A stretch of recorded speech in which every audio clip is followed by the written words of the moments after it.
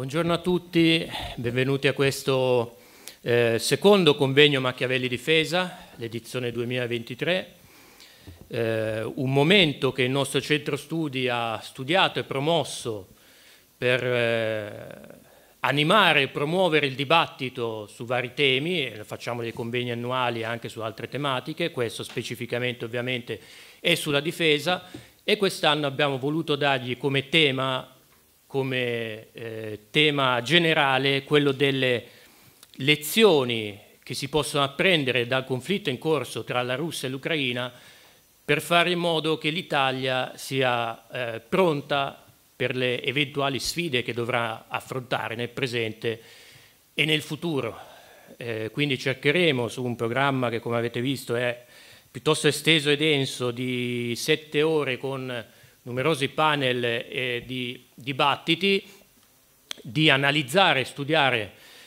molti di quegli eh, elementi, di quelle caratteristiche che sono già eh, state notate in questi mesi, che sono già state discusse,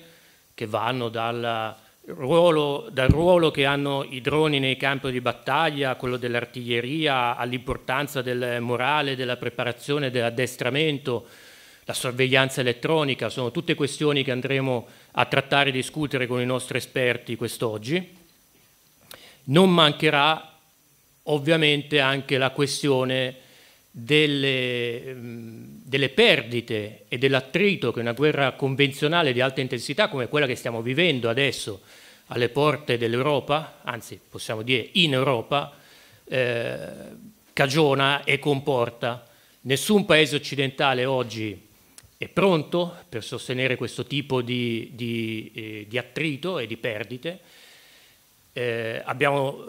previsto specificamente un panel sulle sfide anche per, per l'industria della difesa, non a caso.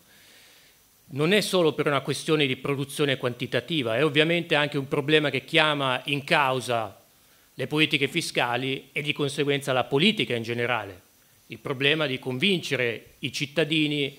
sulla eh, a sostenere i costi che sono necessari ad avere eh, come dire, massa e ridondanza per essere pronti a, a queste sfide. E purtroppo un, lato poi più tragico di questo tipo di eh, attrito che stiamo vedendo è quello delle perdite umane. Anche questo è un problema particolarmente eh, complesso per paesi come l'Italia, per i paesi europei in generale, perché tutti stanno attraversando una fase di declino demografico, di carenza di giovani in età militare. Quindi molto spesso su molte tematiche, su molti problemi, quando si cercano le soluzioni, nel caso dell'Italia si finisce sempre per cadere su questo specifico problema della denatalità, su cui posso dire il nostro centro studi è molto attento e lavora ormai, ormai da tempo. È sicuramente possibile che un ipotetico eh, conflitto tra grandi potenze nel futuro sia deciso da quale sarà maggiormente capace di ricostituire le forze che va perdendo sul campo di battaglia. Una cosa importante da sottolineare ovviamente è che quando discutiamo di come fare in modo che l'Italia sia pronta ai conflitti del futuro non stiamo eh, in nessun modo lavorando per promuoverli o per facilitarli, come ci hanno insegnato i nostri antenati, se si vuole la pace bisogna preparare la guerra, la preparazione è principale, la principale garanzia di poter vivere una, proseguire a vivere nell'epoca di pace che oggi stiamo attraversando. Eh, uno dei tanti motivi per cui con l'Unione Sovietica non si arrivò a un conflitto effettivamente militare è anche quello che a Mosca non poterono sperare di risolvere in maniera a loro favorevole la contesa eh, con una guerra. La preparazione dei paesi occidentali oggi significa avere il migliore deterrente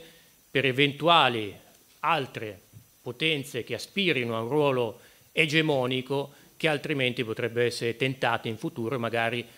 al, dal ricorso a uno showdown militare per riuscire a cambiare quelli che sono gli equilibri di potere.